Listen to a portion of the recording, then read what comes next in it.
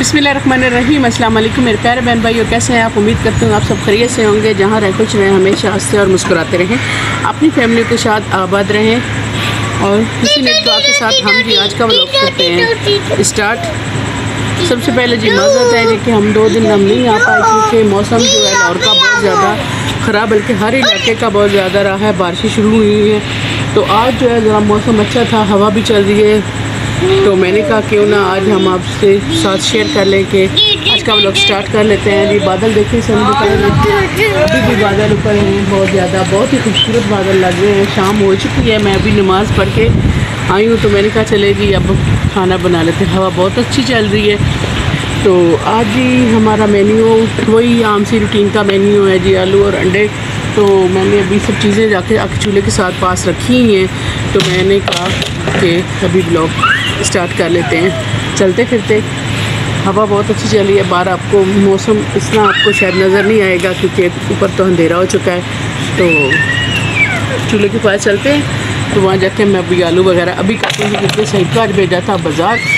तो वो चल के गया था बाज़ार, थोड़ा सा हमसे दूर है तो वो फिर देर हो गई हमें आते आते।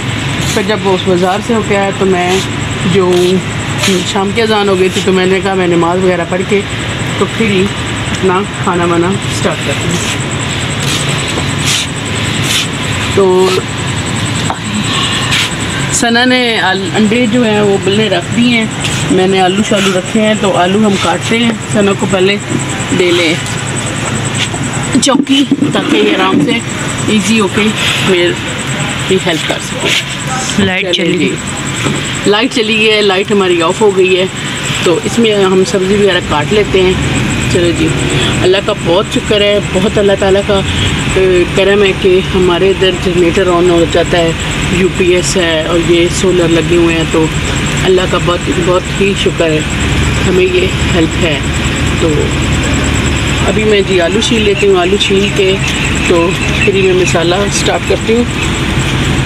इंशाल्लाह ये सब चीज़ आज दिखाएँगे तो स्टार्ट करते हैं। वो मैंने अब सारा मसाला ग्राइंड कर लिए। अम्मा इसका ये अभी घी में डालती। ताकि अच्छे से ये भून जाए। अच्छा तो मसाला मैंने डाल दिया। इसमें भी अभी ज़रूरत अपना मिर्च मसाला भी डाल देती हूँ ताकि ये पक जाए साथ ही। और इसको बाद में इसमें हम हरी मिर्च ये क्या कहते हैं। सब चीज़ें डाल देंगे।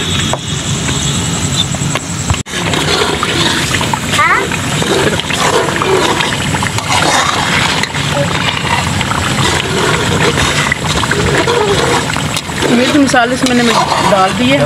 गरम मसाला भी डाल दिया। उसको भी अच्छे से भून लेते हैं। बहुत ही खूबसूरत रंग है इसका और अच्छा जायका होगा इन तो बहुत ही अच्छे से भूनते हैं। साथ ही जी मेहमान आ गया तो हम थोड़ा थोड़ा उसमें भी बिज़ी हो गए हैं। नहीं ये बाल हटा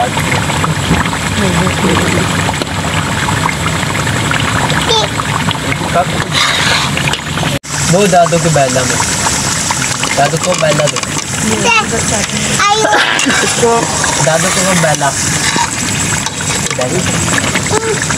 दम।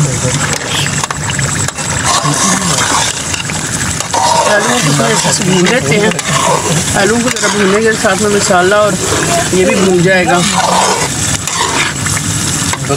पाँच से दस मिनट, पाँच से दस मिनट आलू को भून के तो फिर इसमें हम पानी डाल देंगे, जितना आपको हमें ज़रूरत होगा। जितना हम शोरा बनाना चाहते हैं इसमें ग्रेवी बनाना चाहते हैं तो फिर साथ में मैं अंडे छील लेती हूँ और बाकी का अगला भी काम साथ साथ हो जाएगा हरी धनिया वगैरह काट लेंगे। क्योंकि तो मेहमान आ गया तो मैं साथ में बनाऊँगी चाय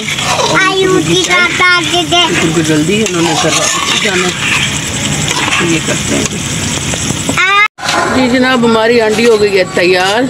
आलू और अंडे ज़्यादा वो थिक वाला शोरवा नहीं पसंद है इतना हमने शोरवा रखना था। और माशाल्लाह से बहुत ही अच्छा रंग आया है। इसका हंडी तैयार हो गई है तो साथ में जी हमने रोटी डालने के लिए तवा रख लिया है। तो अभी रोटी डालते हैं रोटी डालते हैं तो साथ साथ फिर आपके साथ एंड भी करेंगे। इन अजानें हो रही हैं। हमारे काके को देखें। काका अपने ओए नहीं।